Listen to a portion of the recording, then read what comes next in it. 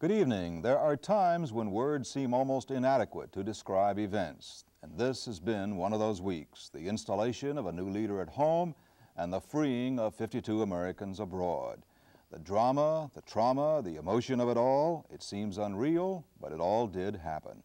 I'm tempted to say all's well that ends well, Haynes, despite the long nightmare for the hostages. But they are coming home, and the new president is now in his new home.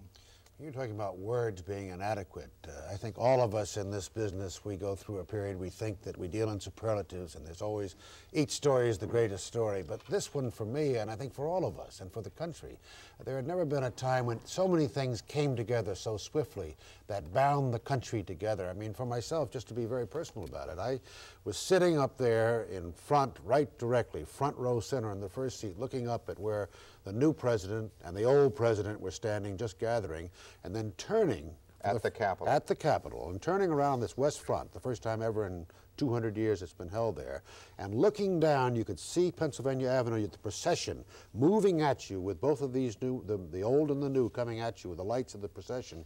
And I had a television uh, plug uh, plugged into my, and listening to events 8,000 miles away literally. The planes are on the runway, the engines are running, they're about to be airborne, getting the bulletin and having it swept through the crowds, and the recognition that all these things that the country had been, and the world in fact, had been bound up so much in the, in the last 15 months had just evaporated, and there we were, the old and the new, and I also watching Jimmy Carter on that inaugural platform. I mean, the sights were so memorable, this ravaged look someone born through that final moment of frustration. It, uh, it, there has not been an inauguration like it, it, for many, many reasons, and the country still hasn't recovered.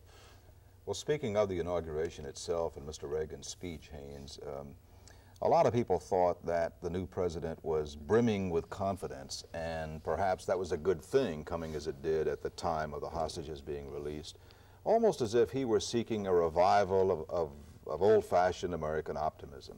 You know, uh, the speech itself uh, was about 20 minutes long, I believe, something like that. Reagan, of course, is a marvelous television performer. His voice is right. Uh, he doesn't shout. Uh, he comes over very well. I don't think this speech would have been a memorable one. However, saying all that, had it not been for the circumstances. For instance, what he said was essentially what he's been saying for many, many years. The government is too large. He restated his positions that we're going to cut back. Uh, we're going to turn back power to the states. Uh, he meant it. He said those things before. And he talked about heroes. Uh, America has not ended its day of heroes and Churchill and so forth. But, you know, really, uh, again, extraordinarily so, the, timing was just right because even as he was saying that, literally, the plane was just about within two minutes to take off from that uh, from 8,000 miles away in Iran. So I, I, think it'll be remembered for these kinds of circumstances. But Haynes, he never once mentioned the hostages, did he? No, Jack, he didn't know. Uh, the President Carter told him uh, as much as he knew also. So on that inaugural platform, that is that the plane was on the landing strips, the two planes rather. Mm. The hostages were aboard.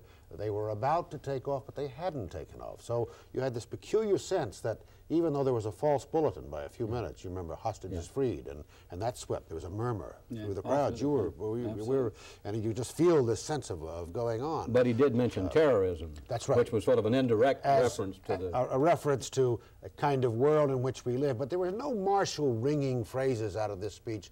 The idea of a national renewal, so many of us picked up in our uh, of necessity, looking for leads as we talk about it in the news business. But every president talks about really an era of national renewal and, and touching. This one, though, did have something more than that. I'll just say personally, uh, last week on this program before the inauguration, I drove by the White House and watched the stands there, the lights. Tonight, the stands are still there. And I was very struck, the Christmas tree is now aglow.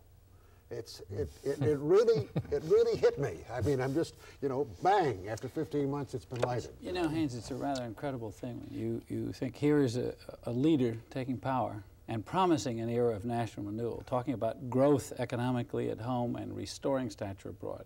And he has this, in effect, this gift from the previous president yeah. and the circumstances of being given a kind of a, a push, a thrust forward, a new beginning uh, internationally, isn't it? It's going to make a tremendous I, difference. I think I that think. I really think historically, and I don't want to again deal in superlatives, but I do think that this president has been given, and it has been a gift, as you say, and a, a remarkable opportunity because, first of all, he is going to have the attention of the country to an almost unprecedented degree. The hostages are coming home this Sunday. There's going to be a national celebration and joy, and bells will ring again. In effect, we'll have a second inaugural ceremony, but it'll be one of liberation.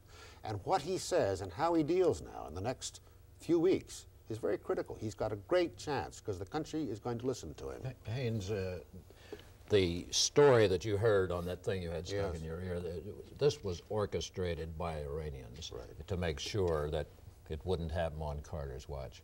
Does this in any way really detract from Carter as the Iranians obviously intended it to do? It does not seem to me that it Charlie, does. I think the, the history of this tragic episode has been one of Iran miscalculating and misunderstanding what we're about. If anything, it made Carter look good and sympathy for a president who, after all, is our president mm-hmm. being dragged. And when you drag the president through it, you drag the country through it. That's what I think.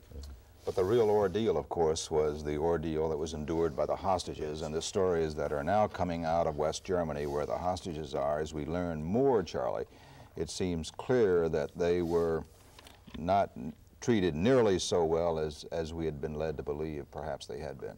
Not at least as far as the public knew. The captivity, Paul, is over. The uh, agony is not for the hostages or for their families or for this nation. We're mixing elation at their release with revulsion at the stories we're hearing, the revelations of brutal treatment. Uh, one of the sergeants looked into the television camera and mulled things over and said Khomeini is a pig.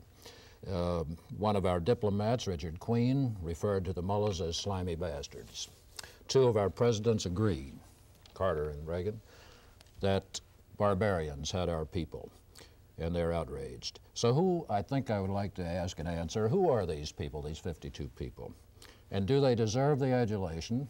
Uh, do they deserve an orgy of celebration? They're a cross-section of this country. They range in age from 21, I think, to 65. They are military, they're diplomats, they're clerks, they're a businessman who made a mistake and was in the embassy at the time. They endured the treatment under physical and psychological pressure. They did not embarrass their country. Uh, they weren't sure that the country had not deserted them. They weren't in that much communication, but they did not give up. I think they deserve the welcome they're going to get. But on the other thing, I, on the other hand, I wonder if we have things skewed a bit. I wonder if we remember that they did not endure tortures as our men from the Pueblo did in North Korea, uh, that there were eight heroes who died trying to rescue them, that there were many who tr- also tried to rescue them and survived but are unknown to this nation. They're Vietnam veterans who did not get the treatment these people are going to get. However, all these people demonstrate, at least to my satisfaction, that this is not a soft country. And if there are hostages now, I'd like to in, uh, say on a final note, they are the families of these people, and I do hope we'll let them rest.